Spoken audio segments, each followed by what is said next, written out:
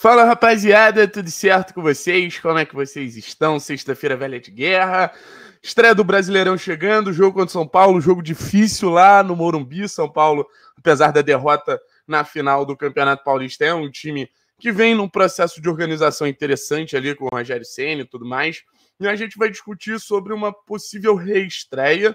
Deve encaixe para Vitor Hugo Naum. Para quem não conhece pelo nome de, de certidão, qual é o melhor encaixe para Vitinho nesse time do Atlético. Antes disso, vou pedir um negócio para vocês deixarem aqui embaixo a opinião de vocês. Nossa, eu prefiro o Vitinho de ponta. Nossa, eu prefiro o Vitinho jogando um pouquinho mais aberto. Nossa, eu quero ver o Vitinho de, de camisa 9 ali, de muita movimentação.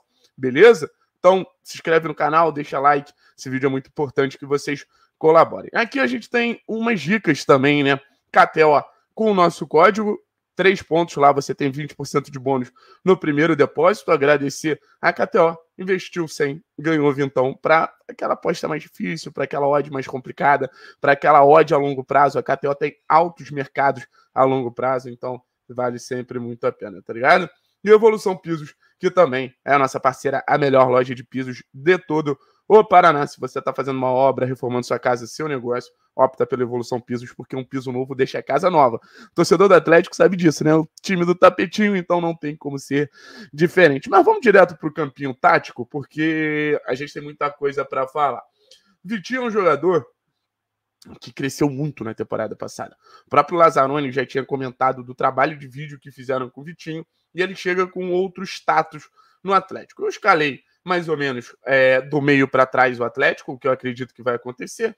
Bento, Kelvin, Orihuela não pode jogar, Pedro Henrique, Lucas Schalter e Abner, Christian e Hugo Moura. Agora ficou para a gente escalar juntos do meio para frente. No lado direito, eu não gostei da partida do Cirino, tá? Então acho que essa decisão é um pouquinho mais fácil.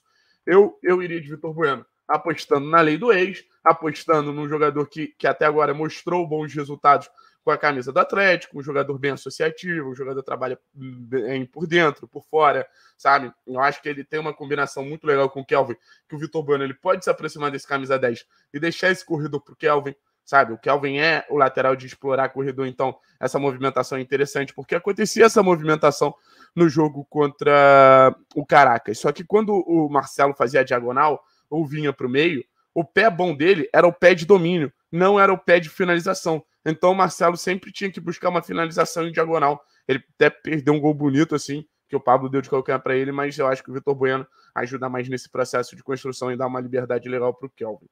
De camisa 10, eu acredito que ele vai entrar com o Terãs, tá? O Terãs não acho que tenha feito um jogo ruim na Venezuela, mas perdeu muitos gols. Mas eu gostaria de ver o Marlos.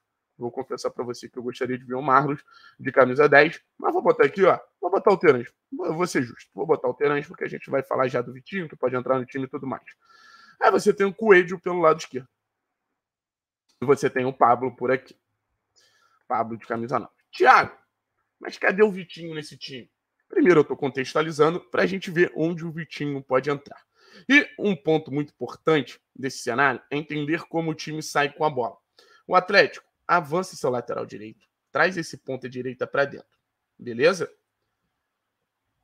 E tem duas possibilidades de saída de bola. Ou ele abre o Pedro Henrique para cá, centraliza o Lucas Jalter e traz o Abner para cá e deixa essa parte mais com o Christian, esse lado esquerdo mais com o Christian, sabe? Então você tem Abner, Pedro Henrique e Lucas Alter fazendo essa saída de 3 mais 1. Ou ele avança o Abner, deixa o Christian centralizado, desce o Moura e abre o Lucas Alter. O que eu prefiro, sabe? O que eu confesso que eu prefiro. Então a gente tem o seguinte: Vitor Bueno e Abner construindo por dentro, a saída de 3 mais 1 com o Christian, Terãs é, bem atrás do Pablo, Coelho bem aberto, Kelvin bem aberto. Thiago, vamos lá. Cadê o Vitinho nessa conversa? a modificação que eu faria para ter o Vitinho em campo. Saiu Terence. Por quê? Eu vou explicar para vocês. Essa zona aqui, essa faixa principalmente, é uma faixa muito importante do jogo. Deixa eu achar aqui. Essa faixa aqui é uma parte muito importante do jogo. Que é a famosa entrelinha. É onde fica, é onde se separa a defesa é, adversária, tá ligado? Da do meio-campo adversário. E é uma faixa que é muito difícil de se jogar. É uma faixa que A cada momento que você recebe a bola ali, é muito fácil pressionar, porque tem muito jogador do adversário com capacidade de pressionar. Beleza? Excelente. Qual foi o melhor momento do Vitinho no Atlético?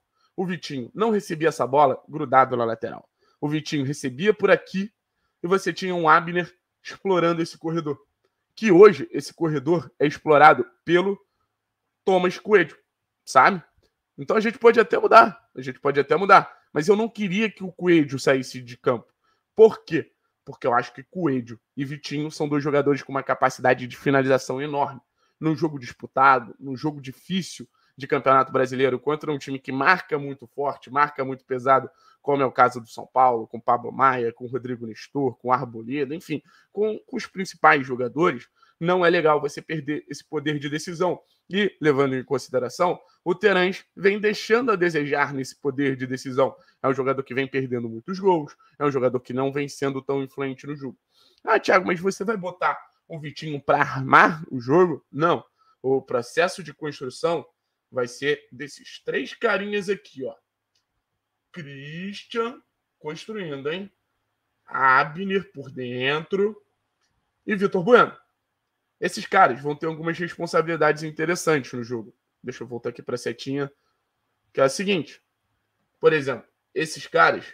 Deixa eu pegar aqui um, um, uma linhazinha para ficar mais fácil. O Vitor Bueno, ele vai ser um cara responsável, por exemplo, de quebrar uma linha e ficar ativando o Kelvin a todo momento, assim como o Abner vai ser o cara responsável por ficar ativando o Coelho, sabe? Foram dois jogadores que tiveram muito essa troca no jogo de ida, né? O Abner a todo momento botando o Coelho para disputar nesse um contra um aqui, sabe? Vim enfrentar, ter esse enfrentamento, ou trazer para dentro, ou jogar mais para cá, sabe? Jogar para o fundo, levar para profundidade. E também, esses jogadores, eles não precisam ficar grudados aqui. Por exemplo, o Coelho pode vir para cá, o Abner pode chegar e quebrar, calma aí, e quebrar uma linha para cá, ou até mesmo quebrar uma linha num passe mais longo. Calma aí, cara. Buscando Vitinho e e buscando Pablo. Então, esses são jogadores que têm essa capacidade de achar esse passe numa zona de mais pressão, sabe? Aí, o que, que eu acredito ser o ideal? O que eu acredito ser o ideal? Deixa eu, deixa eu eliminar essa aqui que ficou meio sem sentido. É... Vou pegar a bolinha aqui. A bola sai de pé em pé.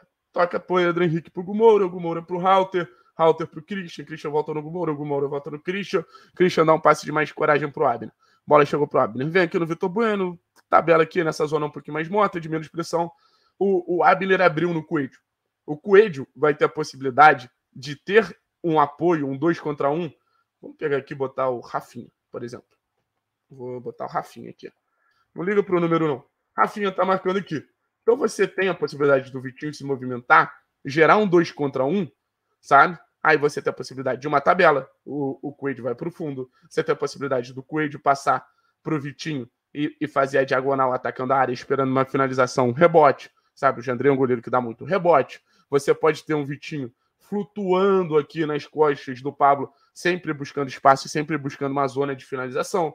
Porque eu repito, se a gente for pegar os melhores momentos do Vitinho na temporada passada, que foi o melhor momento dele com a camisa do Atlético, eu vejo um jogador muito mais capaz de ser o cara dessa finalização na entrelinha do que o cara pelo lado do campo. Ele melhora como cara do lado do campo, mas eu acho que ele acaba sendo mais potencializado, sabe? Então ele pode vir para esse lado aqui, trabalhar com Kelvin também. A gente pode ter até uma linha de cinco agredindo é, uma linha de cinco agredindo a última linha do São Paulo, com o Christian, o Abner vindo um pouquinho mais para cá, ou até mesmo o Lucas Halter vem, o Abner lateraliza, Hugo Moura faz aqui, sabe? Então acho que, que o Vitinho tem essa capacidade de jogar por dentro, algo que ele já fez no Atlético.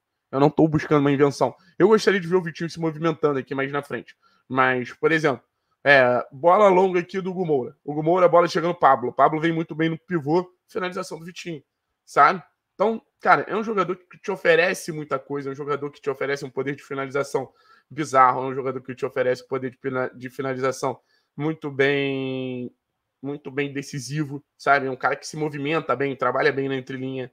É um cara que, que jogando aqui no lado, ele tem uma dificuldade muito grande de receber essa bola de costas, sabe? O Abner faz o lançamento, o Vitinho. Vamos, vamos inverter. E, e, podem acontecer inversões, tá? O Coelho já jogou nessa zona central em alguns momentos no Bragantino, mas ele recebeu essa bola de costas. O Rafinha pressiona, o Vitinho tem, tem dificuldade de dominar. O Vitinho precisa receber essa bola de frente em progressão, sabe? Então, é outra situação aqui. Ele tem um, ele tem um domínio orientado muito bom. O que, que é o domínio orientado na entrelinha? Ele já domina se preparando para progredir, preparando para finalizar, preparando para buscar o gol adversário. Eu acho que o Pablo também é uma peça muito importante para esse ataque do Atlético, sendo um cara de bastante movimentação, sabe? Então, é, do outro lado, vejo o Vitor Bueno e Kelvin fazendo uma boa dupla. Eu acho que a gente não pode ignorar também é, o que aconteceu no Palmeiras e São Paulo. Foi um jogo que, por exemplo, o Dudu criou muitas vantagens, então o jogo pela lateral, um jogo de um contra um, é importante. Então, se você não quiser ter o Vitinho por aqui, talvez tendo um Vitinho por aqui possa te dar uma vantagem. O Dudu deitou no Diego Costa. Então, o Vitinho que chega pronto para atuar em várias posições, em várias fases do ataque, mas sempre respeitando as características do jogador Vitinho. Forte na finalização, bom em lances mais rápidos, o Vitinho não é o cara da cadência. O Vitinho é o cara bom em decidir em lances rápidos. O Vitinho é o cara bom em decidir em um, dois toques na bola, sabe? Isso valoriza muito o jogo do Vitinho. Então, para ter alguém potencializado e potencializar o Vitinho, pode significar também a manutenção do Vitinho por mais tempo, que ele vai ficar mais feliz no Atlético a partir dos bons números dele. Então, é um retorno que tem muito a comemorar, é um retorno muito importante, mas a gente precisa buscar variações para ter esse Vitinho sempre auxiliando. Imagino ele, por exemplo, como um Roger Guedes da vida. Valeu? Tamo junto, é nóis. Obrigado, rapaziada. Forte abraço, KTO Evolução Pisos. Muito obrigado pelo apoio, hein?